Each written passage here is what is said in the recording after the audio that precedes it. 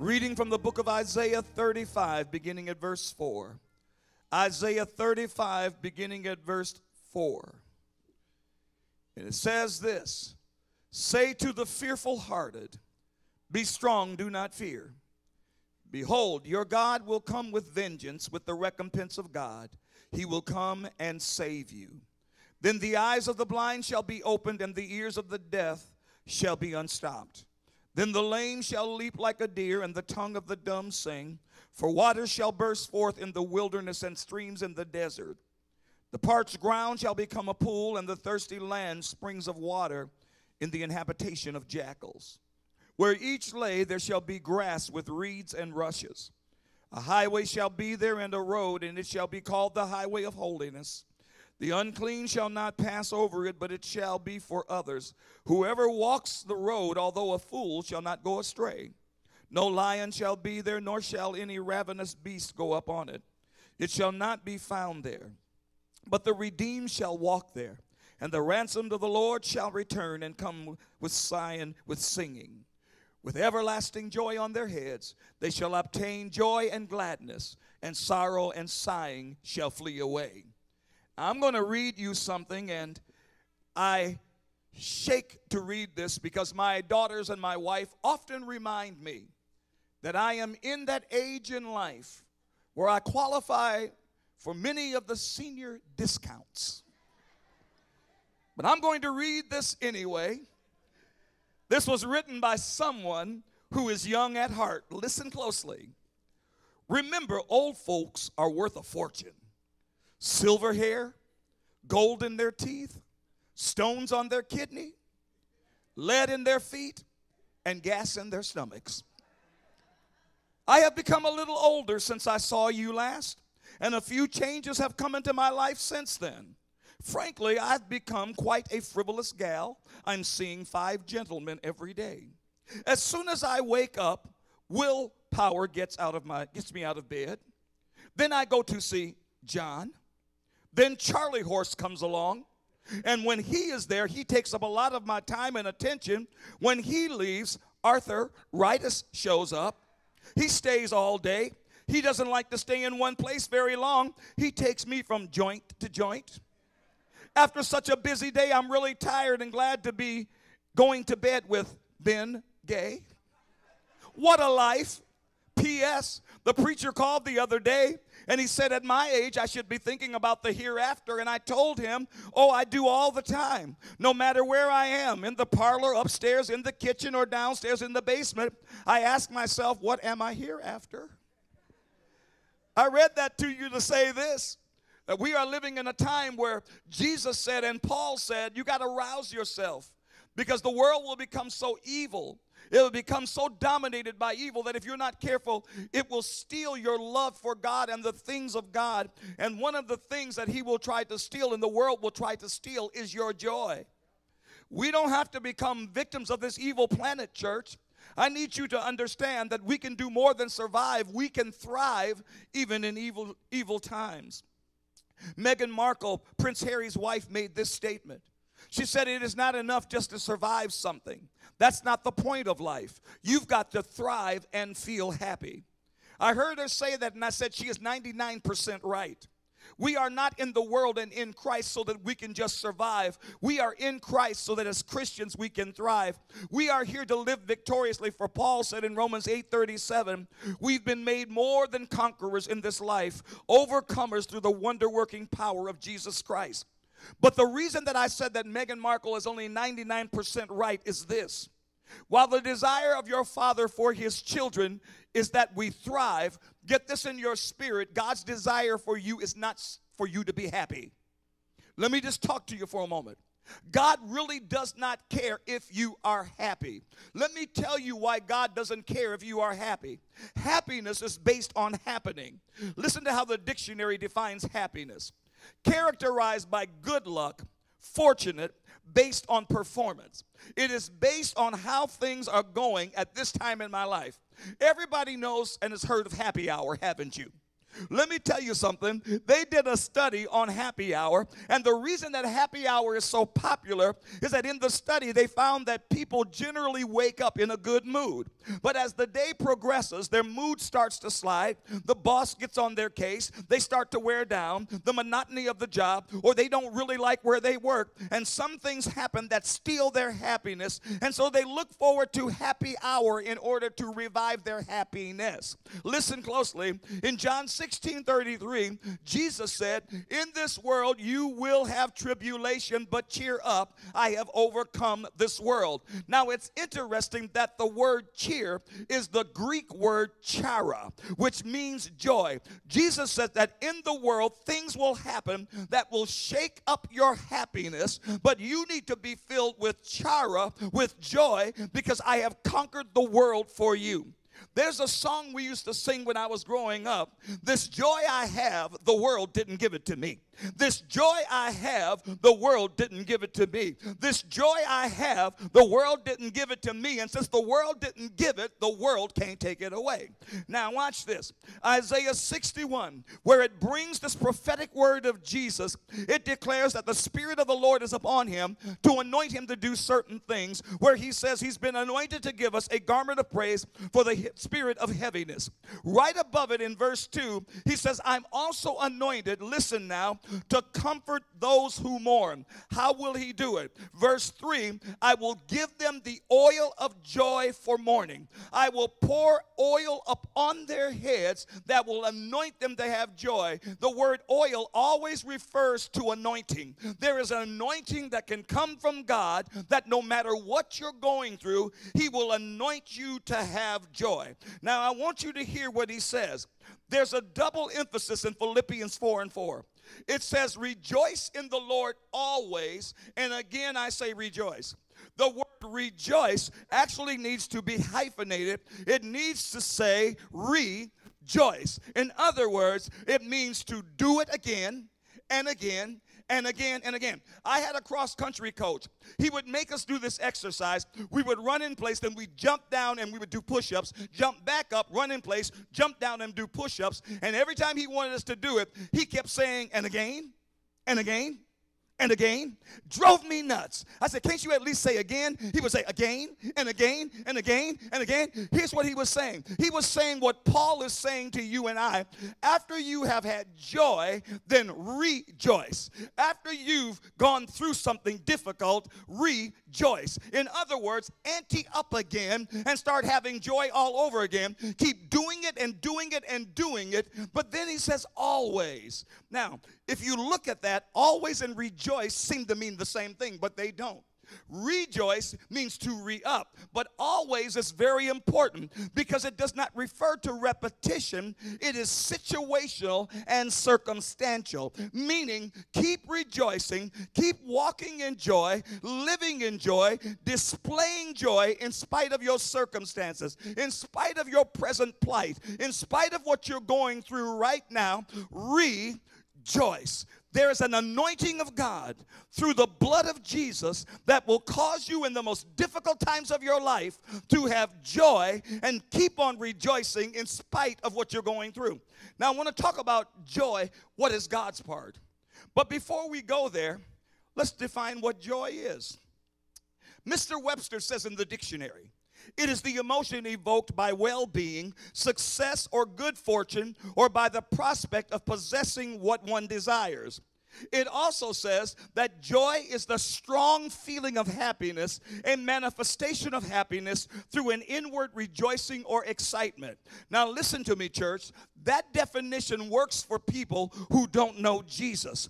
But to those of us who know Jesus, we have got to understand that we need to mature in the reality that there is a deeper definition of joy for us. There is this something or other that God does in our spirits that works on the inside of us when it seems that everything outside of us is falling apart. We have what I call a Psalm 23 peace that is sustained by a supernatural joy that cannot be found except in Jesus.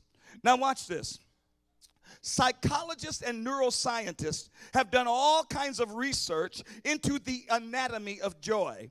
They have mapped the pleasure centers of the brain, they have isolated joy genes in our DNA, they have identified the chemicals that stimulate pleasurable feelings, they have studied identical twins in order to explore environmental factors. Listen, I was studying this and I found out they even did research in an area that actually involved the tickling of rats in order to understand the psychology and the physiology of laughter. Has anybody heard a rat laugh lately? Now, stay with me for a moment. There is something to be learned from these disciplines. There are physiological factors, there are physiological forces and environmental influences that indeed do affect a person's happiness. But joy, grab this church, scientists know where it doesn't come from. Numerous studies over many years have determined that joy is not linked to circumstances, to money, success, status, age, gender, ethnicity. Even physical health doesn't have any significant correlation to joy. Notice what the Bible says. The Bible says that a merry heart, a happy heart, does good like a medicine, but it does not say that joy operates like a medicine. Listen, we saw proof of the reality that stuff does not make us happy. One one day I'm watching Oprah Winfrey, and on the Oprah Winfrey show, there had to be 30, 40, maybe 50 people in the audience.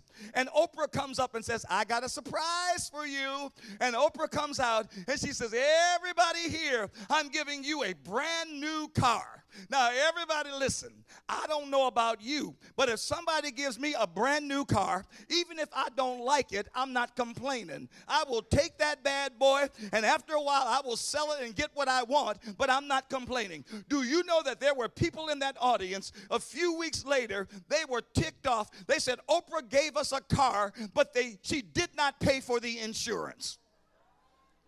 Happy that day, sad the next. Because listen, church, stuff does not get people what we need most, and that is joy. Happiness is from something we do.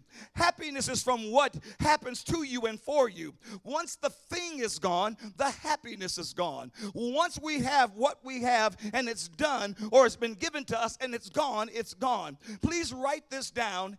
Happiness is insecure. Happiness is insecure. That's why you can see people who are happy in the moment and they are in fear at the same time.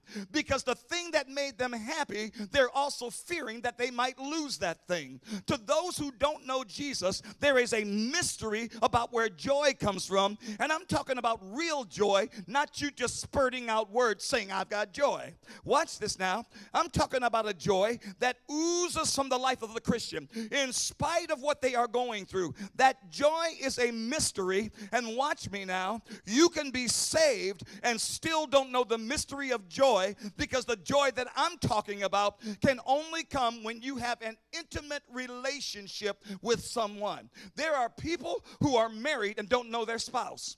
Let me tell you why. Because you are not intimately intertwined. You got a marriage license, your bodies got together, you may have had sex, you may have consummated the marriage, but you don't know each other because sex is not intimacy. There is an interlocking of spirit and heart that causes intimacy. And some people, they are saved, but you don't know God because you are not intimately intertwined with him. Mm. And there's a mystery to those who don't know Jesus intimately.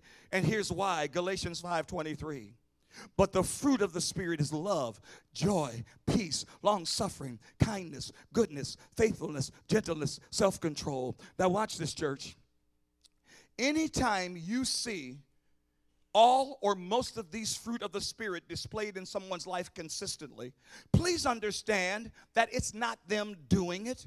Please understand it is a supernatural work of the Holy Spirit in their lives. Philippians 2:13 says, "For it is God who works in you both to will and to do for his good pleasure." And Jesus says, "I will by my anointing pour the oil of joy for mourning upon your life." I'm talking about a mysterious joy the joy that the world cannot comprehend. Now, everybody look at me. We have too many Christians who are miserable and insecure. Let me tell you why. Because we're always busy trying to be happy instead of being filled with the joy of the Lord. Let me talk to you for a moment. You young people, and some of you older people, God, give me a wife, give me a husband, and I will be happy. And you know what? You are right. Believe me, a woman, a man can make you happy. It is the key to happiness. Meeting somebody and getting married is a key to happiness, but the same key that got you married can bring you misery if that relationship is not anchored in joy because the same person that makes you happy most of the time has the ability to tick you off to and make you unhappy. Let me explain it this way. Lady Brenda loves me. I know she loves me. She loves me. Oh, she loves me. But let me tell you what I know. There are times when she does not like me. And if you don't understand that, you will eventually end up in divorce court because you're basing your every decision on what makes you happy. Stay with me. There is an insecurity that comes with happiness. Listen, that is not present in joy. Write this down. Joy is secure. Now, write this underneath that.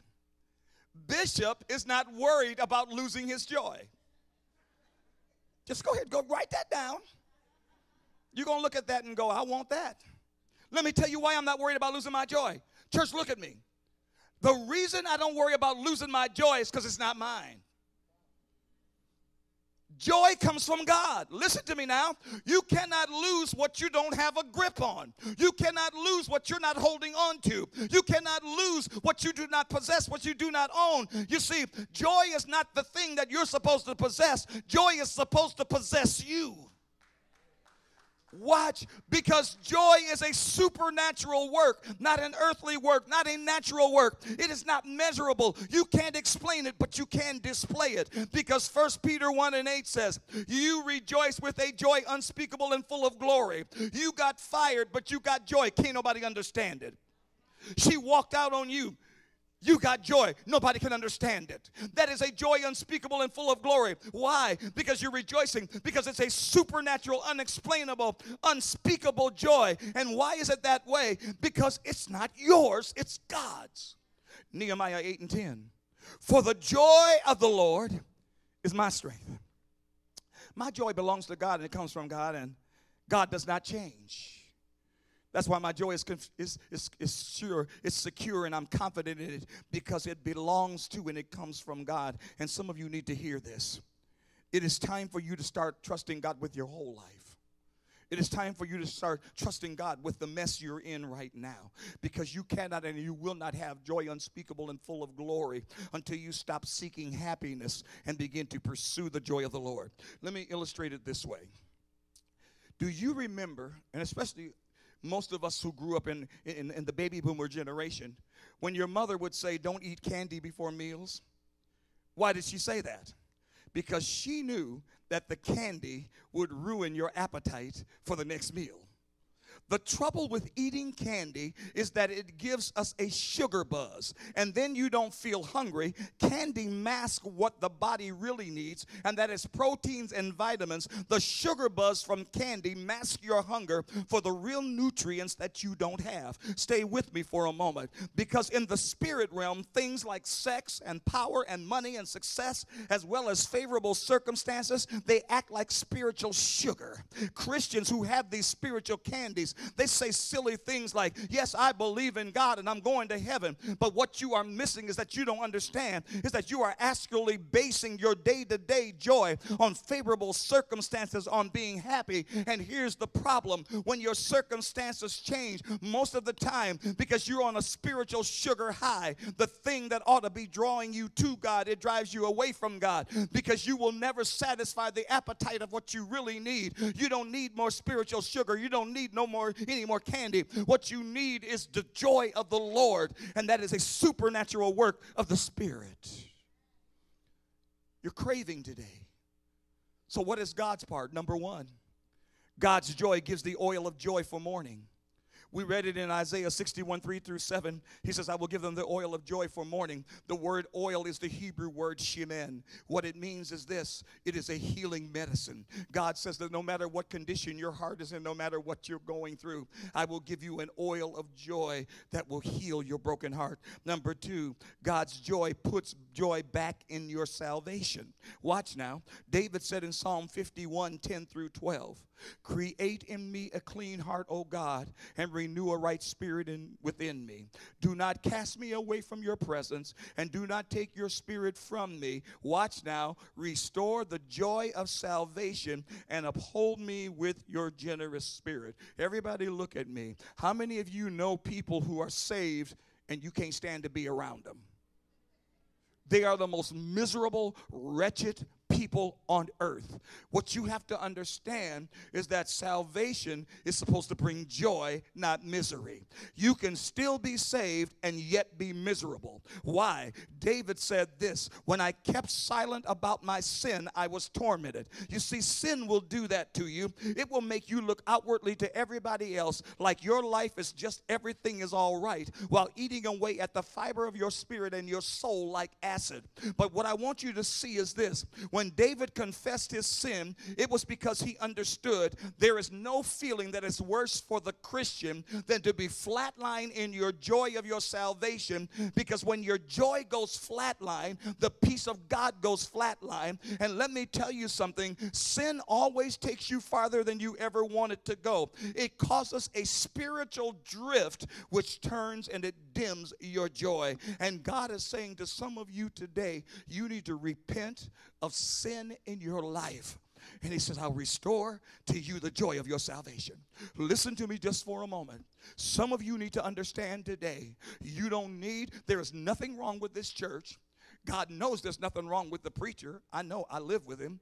God knows there is nothing wrong with the people in this church. There is nothing. You don't need another church. You don't need another environment. What you need to do is repent of sin so that the joy of the Lord can come back into your salvation. There is going to be nothing worse than getting to heaven. Some of us going to be standing up in heaven in our nice three-piece suits. Everything's going to be creased and in place. Standing next to some of y'all, you're going to be raggedy, tore up from the floor up, beat up all over the place, looking like you just barely made it into heaven. And the reason is, was because you lost the joy of your salvation. And the reason is, sin couldn't steal your salvation, but it stole your joy. The Bible says in Acts 3:19, "Repent ye therefore and be converted, that your sins may be blotted out. Then the times of refreshing will come from the Lord." Number 3, God's joy makes us full. Psalm 16 and 11. You will show me the path of life, and in your presence is fullness of joy, and at your right hand pleasures forevermore. It means complete, no lack, no shortage. We read about Romans 11 33 through 36 when we were talking about the peace. All those things that we need are in Him, not just our peace, but our joy is in Him. And number four, God's joy is an everlasting joy. Here's where we're going to hang out for the remainder of this message. Isaiah 35 and 10. And the ransom of the Lord shall return and come to Zion with singing. Everlasting joy shall be upon their heads. Now let's define everlasting. Everlasting means perpetual, without end. It means lifetime.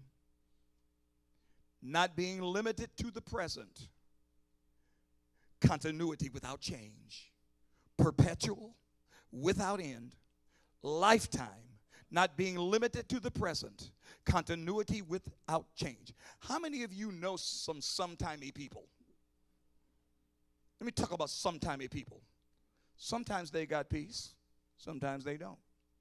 Sometimes they got happiness, sometimes they don't. Sometimes they feel like a nut, sometimes they don't. Sometimes they got joy, sometimes they don't. Sometimey people. Look at me. As a Christian, God says you don't have to be sometimey. I've got a joy that will endure. It will be perpetual. It will stay on you no matter what you're going through. The Bible says that God can give you an all time joy, an everlasting joy, a joy that does not change because you got problems.